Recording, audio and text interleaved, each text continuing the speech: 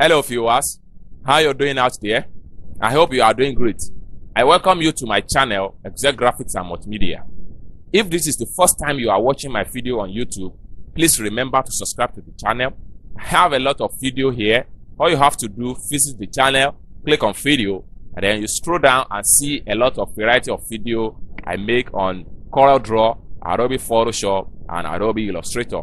And also, I used to make a video on how you can run an effective advertisement on Facebook or Instagram. That is what this channel is all about. So, and whenever you watch my video, also make sure you put down your comment in the comment section down below and let me know how you feel about the content. All right. So let's get the tutorial started. Welcome back viewers.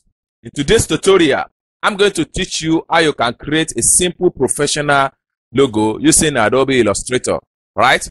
So as far as this tutorial is concerned, I'm going to start from the beginning to the end. All you have to do is to step back, relax, and watch the video from the beginning to the end. Once you're done, then you can now go ahead to create your personal professional logo, right? So the first step to take now is to go to File. When you click on File, select New. Having select new, a dialog box pops up this way. Then you come to this set detail, delete whatever you have here, then type the name of your design, professional logo. All right. So having done with that stage, come to the width set to be 1000 pixels and the height also should be 1000 pixels. Then having done that, then you come to the color mode here, render it to be CMYK because this particular project is going to be a printing work. Once you are done, you click on create. Good. This is exactly what you are going to get, right? So now the next step to take as far as this tutorial is concerned is to go to our toolbar here. When you get to your toolbar, select polygon tools. Having select polygon tools, come to the shape property at the menu bar. Make sure that the color field turned off. Then make sure you set your stroke color to be black. Having done that, then you come to the artwork area, click on it. A dialog box will pop up like this. Then make sure that the size should be 6. Once you are done, you click on OK. Good. You are going to have something like this. All right. Centralize it to the middle of the shape of the page. Then press Shift key, Alt key, normal drag to expand the shape.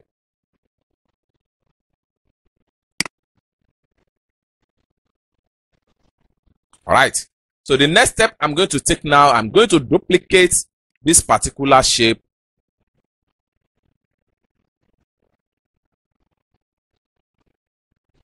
Just like this. All right. So the next step I'm going to take now is that I'm going to use my pen tool at this at this point.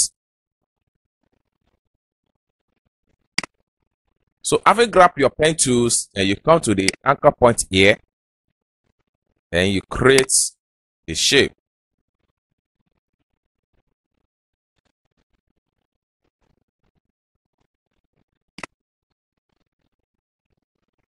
Good. So once you are okay with the shape, then the next step to take now is to select everything.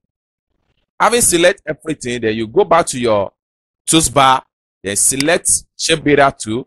Having select shape builder tool, then you choose the color of your choice. Then you fill shape with the color.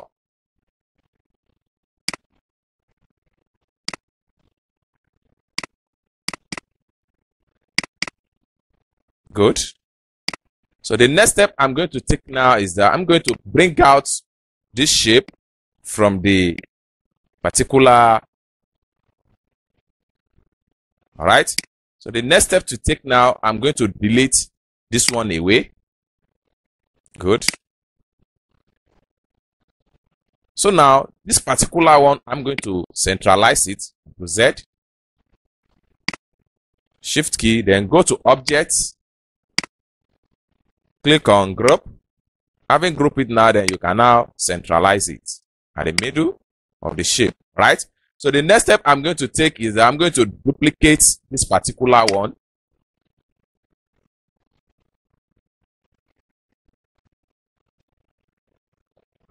Good. All right. Now to apply the final color from to my logo.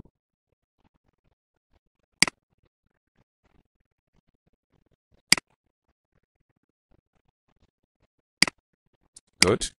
So the first thing I'm going to do, I'm going to ungroup everything because I'm going to apply uh, gradient color fill, right? Now to apply gradient fill color to this particular logo, as you can see on my screen here, I have my color already. I use sky blue and, and red. So now to apply it to the, to the current one, what I'm going to do first thing is to select all the logo and take away the outline color.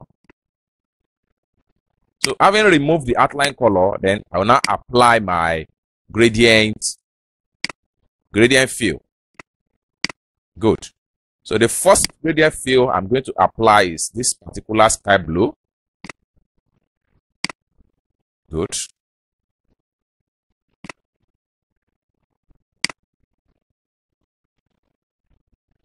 All right.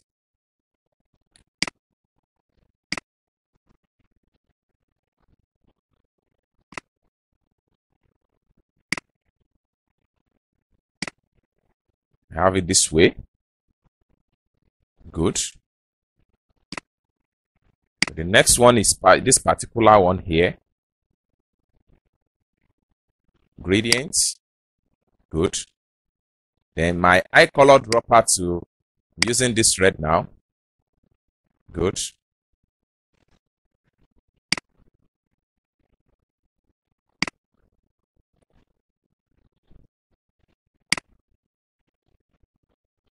Good. The next one is this particular down below here. Gradient fill. Good. Using this one.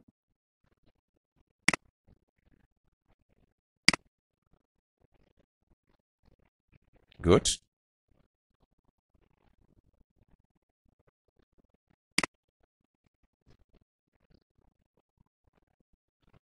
All right. So the next thing I'm going to do now is to select all the logo. Having select everything, you can shift key, alt key, and expand the shape. Once you are done, then you can go to objects and group all the logo together. Having done that, you can centralize it at your menu bar. Then you can resize whatever how you want the logo shape to be. I hope